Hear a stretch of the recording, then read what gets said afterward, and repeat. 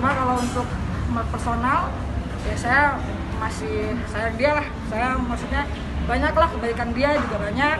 Ya manajer sama artis selalu saya bilang itu pasti saling. Pasti saling membutuhkan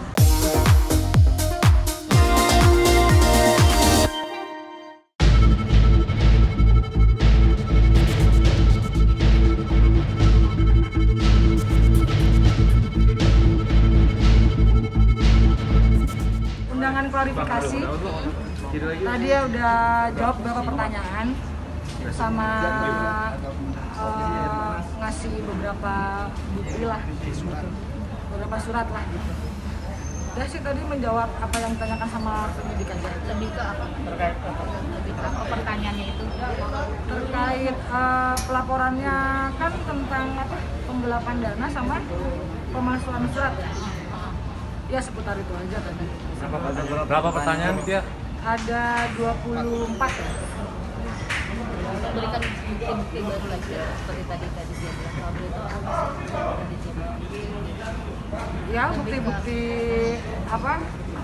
Bukti-bukti yang tidak dibayarkan oleh oleh pihak sana. Sama lainnya bukti-bukti kontrak. Tidak ada. Saya kan kerja sama dia lebih dari lima tahun ya jadi kalau emang mau diperkarakan harusnya kenapa nggak dari dulu dulu? Kenapa baru sekarang. Tapi berharap masih membuka pintu perdamaian oh ya pastilah kalau damai mah maksudnya baik-baik. Ya biar bagaimana saya 10 tahun ya sama Denny Sumargo. Saya sayang lah saya sama dia. Ya maksudnya udah bukan maksudnya nggak nggak hubungan itu kan nggak harus melulu tentang uang ya. Ada hal-hal lain yang apa pasti saya lewatin sama dia lah selama masa karir saya sebagai manajer dia sebagai artis saya ya.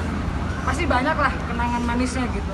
Jadi kalau ada masalah begini dari awal preskon saya bilang saya menyayangkan Eh, tapi apabila ini kemauan Denny ya saya sebagai warga negara saya dipanggil untuk undangan klarifikasi ya saya hadir.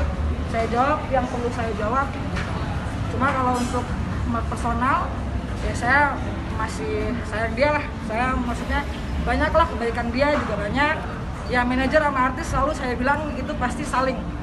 Pasti saling membutuhkan saling melengkapi pasti lah